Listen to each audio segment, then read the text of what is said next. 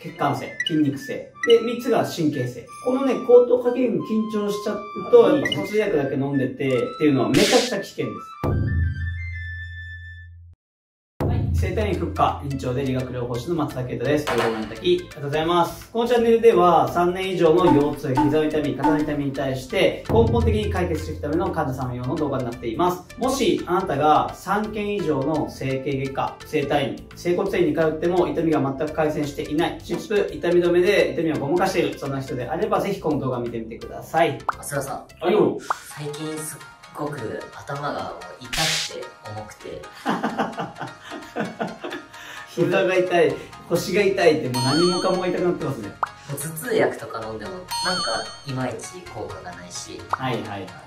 う松田さんなら何とかしてくれるんじゃないかと思って今日はちょっと相談に来ました。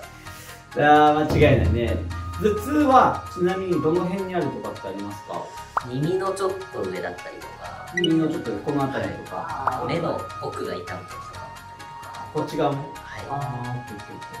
じゃあちょっといろんなパターン考えれますね。で一般的に頭痛ってなんか一通りにまとめられてること多いんだけど、あの、結構専門知識知っていくと全然違うんだよ。パターンが何パターンかあって、で、今、こう頭痛の中でもいろんなパターンが言われてるけど、大きく3つあって、まず1つ目が血管性。2つ目が筋肉性。で3つが神経性、まあ、いわゆるこの大きな3つが原因になってるよね。って言われる。この3つによって痛む場所だったりとか痛み方とか痛むタイミングとか全然変わってくるんですよ。でこの原因が分からずに頭痛薬だけ飲んでてっていうのはめちゃくちゃ危険です。なんでかって言ったら例えば頭痛薬っていうのはいろんなパターンのものがあるけど痛みを出てきたものを抑えいわゆる痛みを感じないようにしたりとか痛みの物質自体を出ないようにしていったりとかっていろんなパターンがあってでだけどこれって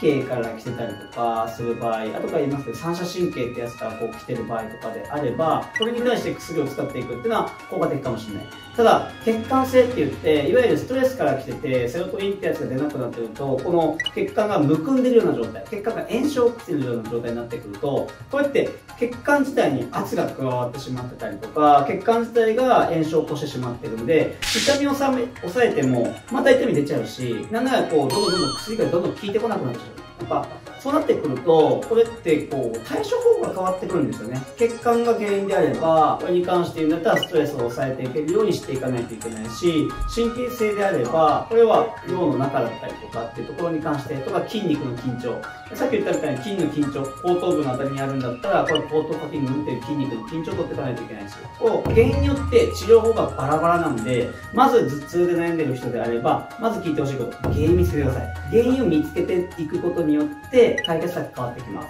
なので、この原因を見つけるために、今日はね、原因をちょっと説明していこうかなというふうに思いますので、ぜひね、ちょっと見ていただきたいかなと思いますけど、そんな感じでいいですか？よろしくお願いします。はいよ。えっと、まずさっき言った血管性、筋肉性、神経性ってありますけど、血管性の場合はどういうことかっていうと、これストレスを感じると頭痛が起きますってよくあるじゃないですか。なんかストレス感じると頭が順番してきたってあったりします。これ何かって言ったら、ストレスを人は感じると、いわゆるセロトニンといって幸せホルモンってやつが出ます。いわゆるこのマイナスなストレスがかかってきた時に、このマイナスになったもので体が潰れてしまわないように、プラスになるように、幸せになるようにっていうセロトニンっていうホルモンが出るんですね。で、セロトニンってやつが出てくると幸せになるんで、このストレスを中和してくれる役割があるんですけど、それと同時にいろんな作用があって、ホルモンなんで。で、その中の一つとして、血管を収縮させるっていう体験です。で、収縮させると何が起きるかっていうと、次は元に戻る。セロトニンが出なくなってきたら、元に戻るんですよ。ではセロトニンが出てきました。血管が収縮する。で、セロトニンがなくなった。そうすると広げていく。いわゆるストレス出ました。セロトニン出ました。収縮する。ストレスが、まあ、ある程度楽になった。セロトニンがなくなってった。膨らむ。これを繰り返してると、いわゆる血管がすごく膨らんだりとか縮んだりを繰り返します。そうすると、血管が何回もこう、いわゆる筋肉でもう何回も筋トレしてるような状態になってるから、むくんできたりするんですよね。血管自体も炎症を起こすような状態になる。そうすると、むくんでると、いわゆるここで血管の周りにある神経がむくんでるぞだったりとか、ね、ちょっと使いすぎだぞっていう、いわゆる血管のあの筋肉痛みたいなもんだと思って、それが原因で痛みを起こしている状態。だから、ドクドクドクって感じるような頭の中が痛いみたいな頭痛あるじゃないですか。あれは結構血管性のものが多い。いわゆるストレスから来てセロトニンが出てって、これを繰り返すことによって、いわゆる血管の周りにある神経が過敏になっている状態。それによって血液のポンポンっていうこの収縮とともに頭が痛いっていうような拍動に合わせた頭の痛みがある。これもう典型的な血管性の痛みの場合です。この場合であれば何するかって言ったら、ストレスを抱えないようにしていくことっていうのがすごく大事になってくるので、生活環境だったりとか、周りの環境、友達に何か話ができるようにしていったりとかっていう、環境設定がすごく大事になってきます。で、それができない場合であれば、ストレスの根本の、ね、何か根本があると思うので、そこを解決する。まあ、でもそれができないので、まあ、例えば、これ自律神経のころで言うと、いわゆるこうリラックスできる環境を作ってあげたりとか、あとは、よくあるのが、まあ、攻撃性があるっていう状態を作ってあげたりとかっていうのも一つあるんですね。攻撃性って何かって言ったら、一人カラオケしたりとか、一人で焼肉したりとか、一人で贅沢する。これも結構、いわゆるストレス発散になるんですよ。っていうような対策方法を自分なりのものを知っておく、リラックスできる状態を知っておくっていうのもすごく大事かなと思いますんで、ただ慢性的になってる場合であれば、これは炎症が出てる状態なので、これは抗炎症薬だったりとかっていうのも一つ手かもしれません。まあ、その辺に関しては頭痛専門がい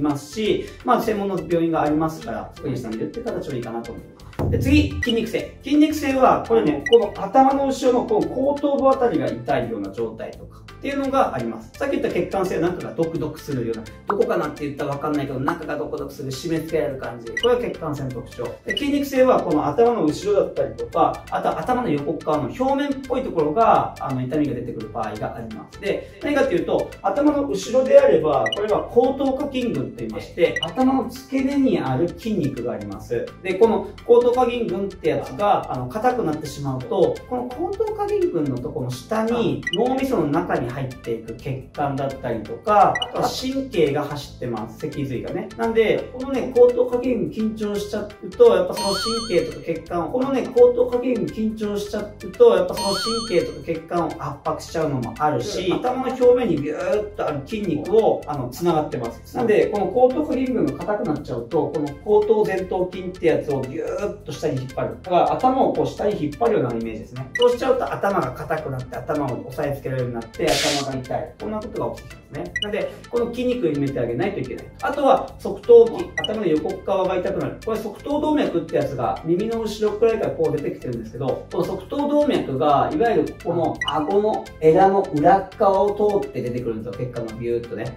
で、この後ろにはめちゃくちゃ筋肉たくさんあるんですよ。内側翼突筋、外側翼突筋だったりとか、あとは舌骨筋だったりとか、強鎖乳突筋とか、筋肉がたくさんついてます。なので、この筋肉が硬くななってしまうと、この側頭筋の出口のところを圧迫してしまって、いわゆるこの頭の横側が痛い、表面がなんか痛いっていうような頭痛を生んだりします。これもだから側頭筋、まあ、この枝の後ろのあたりの筋肉、首周りの筋肉に埋めてあげないといけないよねって話ですね。なんで、頭の後ろだったりとか、横側が痛い、こういう場合であれば筋肉をしっかり埋めていきましょう。で、首の周りの筋肉に埋めていきましょう。それとね、改善していきましょうっていう都市療法、私たちがやってるような都市療法がすごく効果的な場合があります。で、3つ目。これは反射神経と言いまして、これ何かって言ったら、目の奥が、目が開けれないぐらい頭痛があるとか、目の奥がズンズンして、あの、痛いですとかってやつとか、なんかこの辺がピリピリしてとか、なんかこの顔面の前のあたりがズンズンしてる状態。これは反射神経から来てる場合で。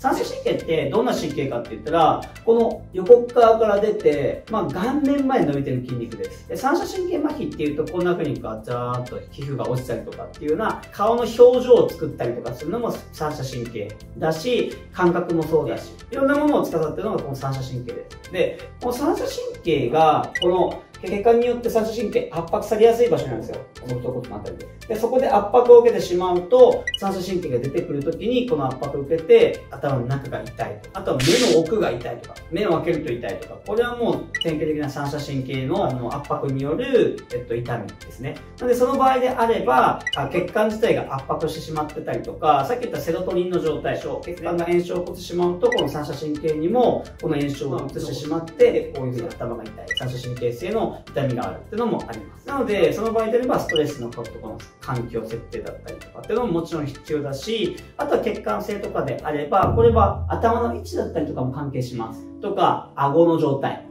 顎がこう、緊張が強い状態とかだと噛み締めますよね、ぐーっとね。噛み締めちゃうと、この側頭筋のあたりとかを吸収縮してしまって、三叉神経圧迫しちゃったりします。で、そういうのも関係してくるので、この顔面周りの筋肉を緩めていくっていうのも一つ、こう、三叉神経の性の痛みとか頭痛であれば、可能性としてありますよ。で、頭痛自体は原因がまだ分かってないっていうのが正直なところなんですけど、大きく今言われてる原因としては3つ。もう一回言いますね。血管性。いわゆるこれはストレスのところに対して対処しましょう。筋肉性。これは側頭部、側頭部だったりとか、後頭部のところにできている痛み。これに関して言うとれば筋肉、首周りの筋肉をしっかり埋めていきましょう。で、3つ目。これが三叉神経性ですね。これは血管が圧迫したりとか、血管の炎症が歪みになって、そこから引っ張られてきて、三叉神経のところが炎症が起きてる。いわゆる頭が痛い、頭の目の奥が痛い。こんなことが起きてきますね。その場合であれば、ストレスの環境を設定をしてあげたりとか、顔面周りの筋肉にめてあげる。ね、耳周りの筋肉にめてあげる。こういうことをやってくることによって解決してきます。これ考えたら原因によって全然治療法違いますよね。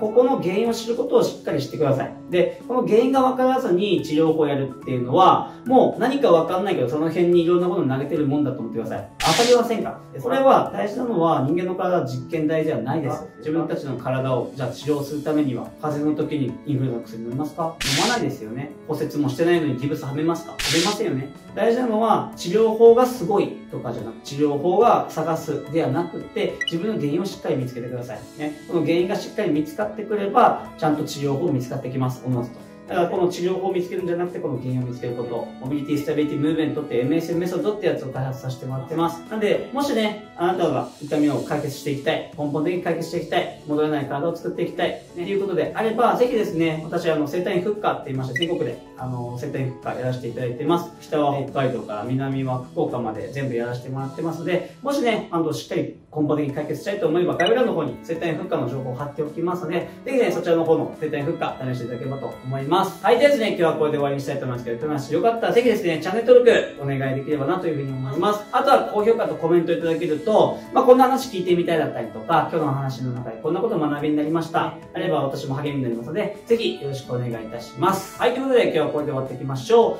今日も動画を見てき、どうもありがとうございました。また見てください。